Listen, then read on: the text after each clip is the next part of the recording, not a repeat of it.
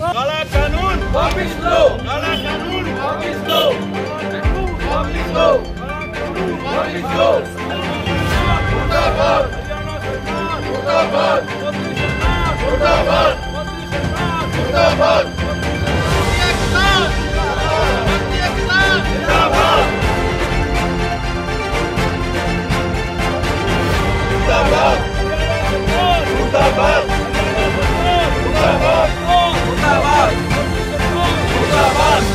किसानों के समर्थन में जो वकीलों ने आज प्रोटेस्ट किया है, और ये एक्ट जिसका नाम farmers empowerment and protection act है इनफैक्ट ये फार्मर्स के एम्पावरमेंट और प्रोटेक्शन के लिए नहीं है फार्मर्स के खिलाफ है।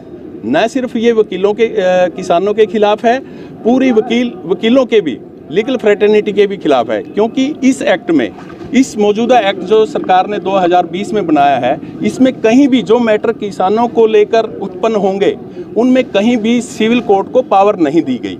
इसलिए वकीलों का काम इन्होंने ख़त्म कर दिया। दूसरी तरफ़, जो रिकन्सिलेशन कंसिलेशन जो बोर्ड बनाएगी, उसके अंदर सरकार सरकार अपने नुमाइंदों को गठित करेगी दो से चार आदमियों को। और जैसे ही सरकार या एसडीएम चाहेगा, उसी तरीके से फैसले होगी। और हम सभी जानते हैं कि एसडीएम या उनके नुमाइंदे किस तरीके से फैसले करते हैं? जब सरकार का सिविल कोर्ट को ही पावर नहीं है, सिविल कोर्ट पे विश्वास नहीं है तो और किसके ऊपर होगा?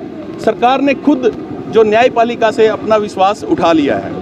न्यायपालिका पर सरकार का खुद विश्वास नहीं है वकीलों के ऊपर विश्वास नहीं है, अपने मन चाहे तरीके से एक बोर्ड गठित करना चाहती है, जो कि गलत है, अपने मनमाने तरीके से सरकार अपना कानून बना रही है, इसका वकील, पूरी वकील कम्युनिटी इसका पुरजोर निंदा करती है। हम सरकार से मांग करते हैं कि इस कानून को वापस लें और किसानों के हित में जो असल हित में कानून है, वो कानून बनाए। हमारे सीनियर एडवोकेट्स ने बताया और हम पूरी तरह से किसानों के हित की बात करते हैं। अगर हमारा अन्नदाता ही कहीं ना कहीं भटका हुआ है तो फिर किसी भी कदर इस देश का विकास हो ही नहीं सकता। जहाँ मोदी सरकार विकास की बात करती है, प्रावधान तो कर दिए गए हैं, लेकिन कहीं पे भी अगर हम देखें तो इसमें सज़ा का कहीं प्रावधान नहीं है।